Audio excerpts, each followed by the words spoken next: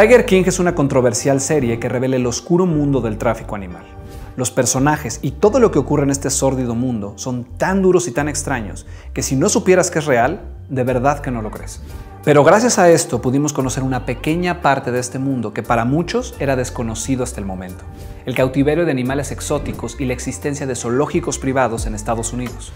Algunas de estas colecciones son comparables a los antiguos califas árabes o a los circos romanos. Pero el tema que de verdad nos preocupa es que la tenencia de estos animales, que evidentemente tendrían que estar en libertad en su hábitat natural, es perfectamente legal siempre y cuando se tenga una licencia.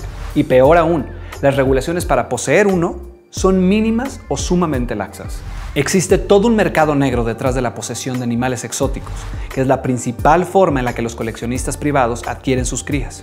De por sí esto ya es brutal, pero además sin regulaciones permite que algunas personas cometan todo tipo de atrocidades, como matar cachorros de león y tigre, porque los cachorros son muy atractivos para acariciar y tomarse fotos, pero una vez que crecen se vuelven mucho más costosos para mantener y ya no son tan rentables.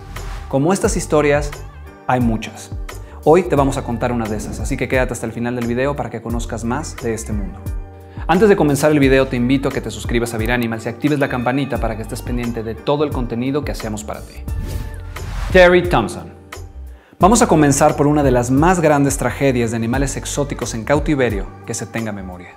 Ohio, en Estados Unidos, era un lugar en el que la posesión de animales exóticos estaba permitida y no estaba regulada. Cualquier persona podía tener un tigre o un león sin necesidad de una licencia o acreditar que las condiciones de su propiedad eran aptas para tener uno. Debido a esto, Terry Thompson llegó a poseer más de 50 animales, entre los que se encontraban osos, tigres y leones, la mayoría de ellos adultos, capaces de terminar con la vida de un humano de un zarpazo o una mordida. Thompson tuvo severos problemas legales relacionados con la posesión de animales, por lo que estuvo en prisión durante un año. Tres semanas después de que Thompson saliera de prisión con libertad bajo palabra, abrió las jaulas de su zoológico privado y dejó en libertad a sus animales. Acto seguido, se dio un tiro en la cabeza. Las mascotas exóticas lograron escapar de la propiedad de Thompson y se emitió una alerta por la presencia de estos depredadores en los poblados cercanos. Para mitigar la situación antes de que se saliera de control, el sheriff del condado, Matthew Lutz, dio la orden de abrir fuego contra los animales. De acuerdo con el testimonio de Lutz, dijo que no fue una decisión fácil, pero que a riesgo de sonar cruel, antes tenía que considerar la seguridad de las personas.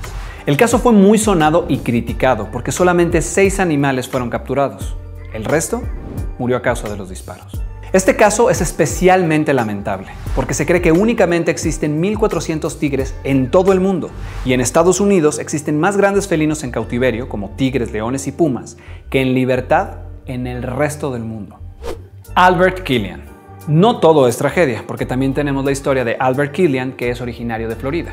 Albert ama las serpientes, sin importar si se trata de un pitón, una boa o cualquier tipo de víbora. De hecho, comparte su hogar con 60 víboras provenientes de todo el mundo.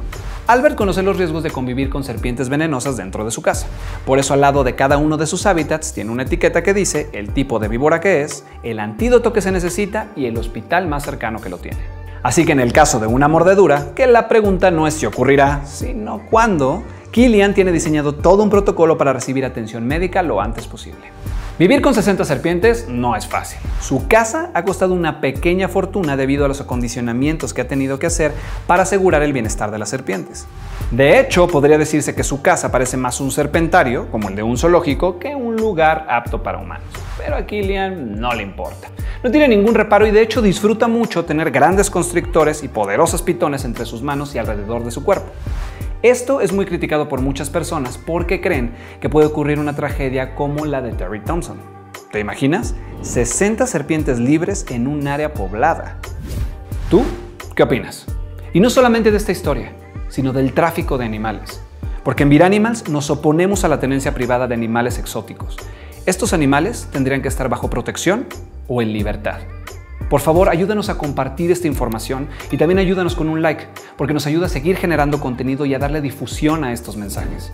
Te dejo nuestras redes sociales y nos vemos en un próximo video.